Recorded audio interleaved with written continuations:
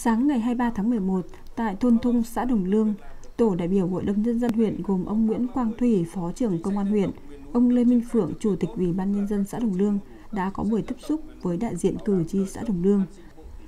Tại buổi tiếp xúc, đại diện tổ đại biểu Hội đồng nhân dân huyện đã báo cáo với cử tri về tình hình kết quả kinh tế xã hội an ninh 10 tháng đầu năm, dự kiến nội dung chương trình kỳ họp thứ 7 Hội đồng nhân dân huyện khóa 19, kết quả giải quyết ý kiến kiến nghị của cử tri trình kỳ họp thứ 6. Tại đây, đông đảo cử tri thôn Thung đã phát biểu trao đổi ý kiến, bày tỏ niềm vui trước những kết quả về kinh tế xã hội huyện nhà đạt được trong thời gian qua. Cử tri đề nghị nhà nước cần đầu tư xây dựng hệ thống điện lưới quốc gia để bà con có điện lưới sử dụng tại điểm trường mầm non, tiểu học.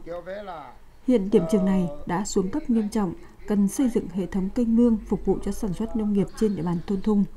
hỗ trợ kinh phí để các hộ khó khăn có cơ hội xây dựng nhà ở, đề nghị tăng mức hỗ trợ về cây, con giống để người dân có thêm cơ hội phát triển kinh tế.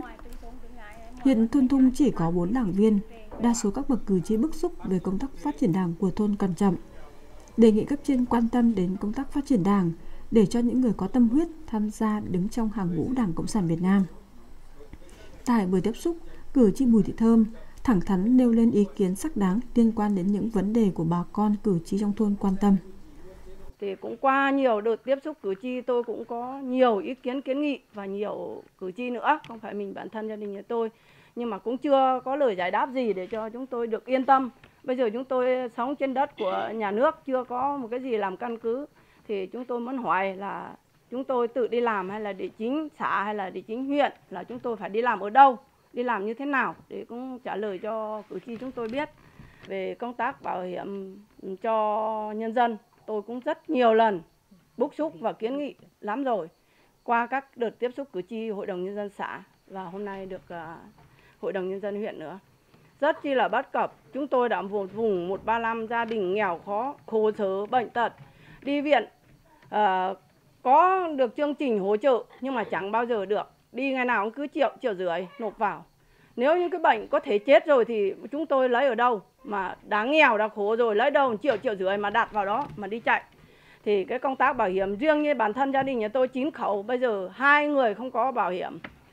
Sau khi nghe các ý kiến phản ánh của cử tri thôn Thung, ông Lê Minh Phượng, Chủ tịch Ủy ban Nhân dân xã Đồng Lương, thay mặt cho tổ đại biểu, chia sẻ những khó khăn mà cử tri đang gặp phải, đồng thời giải đáp những ý kiến kiến nghị của cử tri thuộc thẩm quyền tiếp thu, giải trình, làm rõ một số ý kiến. Những ý kiến của cử tri thôn Thung của xã Đồng Lương sẽ được tổ đại biểu Hội đồng Nhân dân huyện tại xã Đồng Lương tổng hợp và trình kỳ họp thứ 7 Hội đồng Nhân dân huyện khóa 19 sắp tới.